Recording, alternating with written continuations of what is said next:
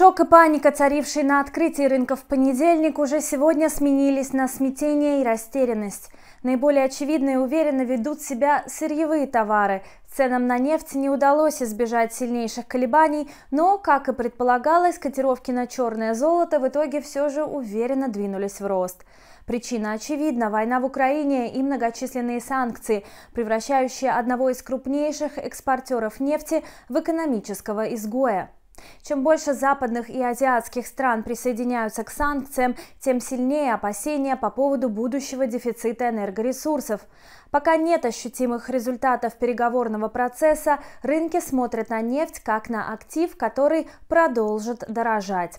Вопреки колебаниям цены, все же ближайший прогноз выглядит минимум как топтание вокруг цены в 100 долларов за баррель, либо рост стоимости. По уже устоявшейся традиции говорить о сигналах инструментов технического анализа не приходится. Рынки во власти паники и бравых спекулянтов.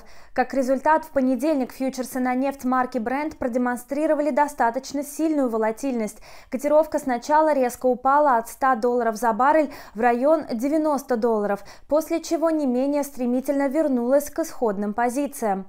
Восходящий цикл не теряет актуальности на рынке, так что сегодня, преодолев недавний ценовой разрыв и достигнув стоимости в 102 доллара за баррель, черное золото может продолжить умеренный рост своей цены. Ну а на валютном рынке рубль продолжает кидать из стороны в сторону. Дела у российской валюты не очень. Из хорошего Банк России и Минфин вчера смогли стабилизировать курс. На открытии торгов рубль пробил исторический минимум, ну а уже в середине дня смог закрепиться ниже 100 рублей за доллар. Тем не менее, пока о победных настроениях можно забыть. Действия регуляторов были эффективными, но все это меры временного сдерживания. Учитывая, что российская валюта испытывает беспрецедентное давление, говорить о реальных предпосылках к росту рубля не приходится. Расти в подобной ситуации рублю попросту некуда.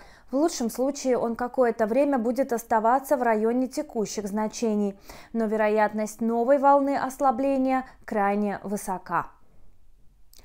Поскольку рынок продолжает демонстрировать прямую зависимость от геополитических новостей, составлять технические прогнозы не приходится. Валютная пара американский доллар, российский рубль в ближайшее время может продолжить метаться в пределах 93-99 рублей за доллар, а может уйти в застой на нынешних значениях. Все зависит от новостей, санкций, действий регуляторов.